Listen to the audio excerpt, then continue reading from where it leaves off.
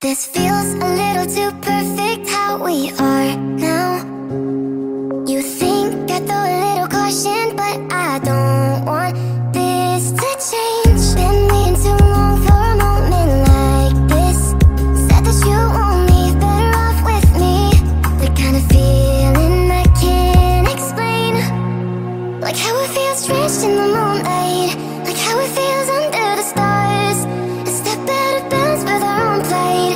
push towards the peace in the heart.